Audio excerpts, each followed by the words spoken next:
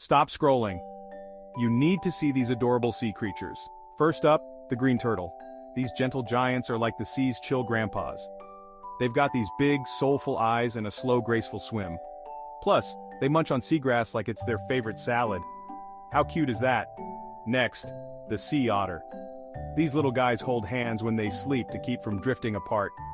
And they use rocks as tools to crack open shellfish. Imagine that. A handyman otter. Now, meet the mantis shrimp.